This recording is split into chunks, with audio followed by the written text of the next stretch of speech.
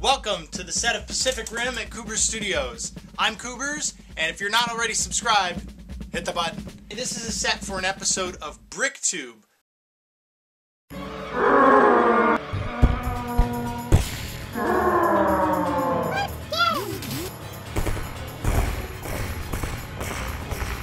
Ah, you don't get to see it all yet.